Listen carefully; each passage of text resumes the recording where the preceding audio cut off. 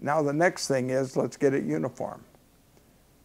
Do you go to New York and you have one set of rules? You go to you you go to uh, Maryland and the, the vet looks at you and says, you want to give him five cc's, seven cc's, 12 cc's?" You go to New York and he says, "Fill out a card. How much do you want to give him?" This is a problem, definitely. I think if I were, uh, if I had a vote, and I don't, I'm just giving you opinions here from a trainer that's been in the game and loves the game. I am pro racing. I'm not totally against medication. I'm just pro racing. And I think that we've got to put a, a, different image out there. We are in the gambling business, whether we want to admit it or not.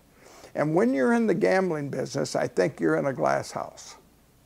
I think that there's sharp senators, FBI agents, people who regulate this type of thing sitting back everywhere in the country saying, you know what, this racing thing is a huge business and it's running 30 some racetracks.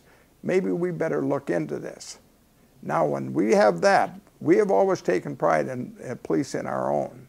But when we get into that, then we get into really having people who are going to make decisions for us that do not have the knowledge that probably we have. We have to pull together, I think, every one of those commissioners, those chairmen of those commissions in every state and they get together. And I think they say the right things, but I think they've absolutely got to hold hands and get it under one umbrella and get uniform medication. And then I think we've got to give that chemist, whoever they are in whatever state or whatever laboratories that we entrust our testing to, we have to give them the funding. I don't care if it takes part of the pari-mutuel handle. The racetrack's got as much to lose as we have and they have to have it. I, um, I talked to the chemist of the Olympics, and I asked him point blank, I said, if you were given the funding, could you pretty much detect everything that would be illegal in, in uh, a horse's system running? He said, if I had the funding, I could tell you if they changed tap water. Well, that's pretty strong.